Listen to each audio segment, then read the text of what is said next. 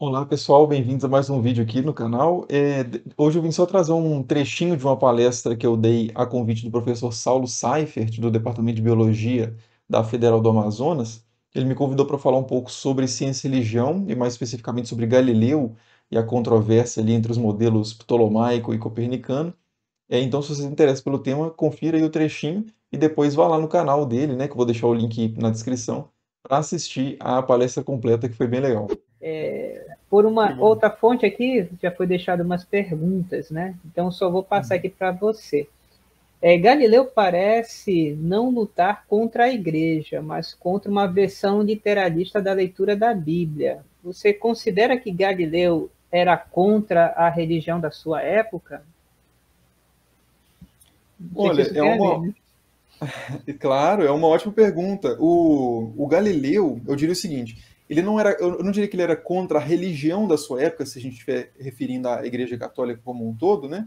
Porque ele não se organizou, não apoiou nenhum movimento, por exemplo, contrário à Igreja, né? Ele poderia ter feito isso, né? Havia bastante, é, várias pessoas ali é, questionando a Igreja Católica até de dentro da Igreja. O Galileu não era um deles. Ele não criticava a estrutura da Igreja.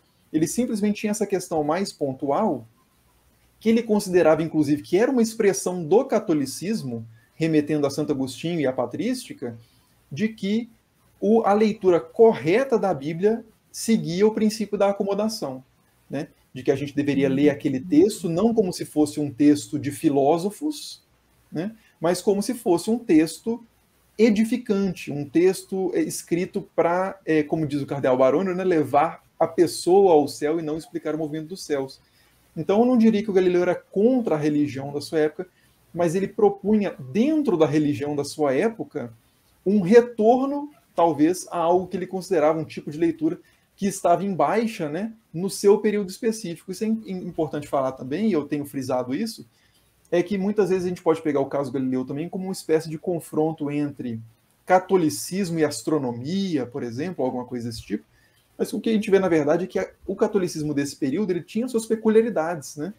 Talvez se o caso Galileu, talvez se se uma proposta tivesse aparecido como a do Galileu 200 anos antes, ela não gerasse tanta preocupação da alta cúpula né, católica, porque a questão da, da disputa de como se deve ler a Bíblia não estava tão em alta. Né? Então, esses aspectos temporais, sociológicos, né, são muito importantes também para a gente considerar esse caso na sua totalidade. Né?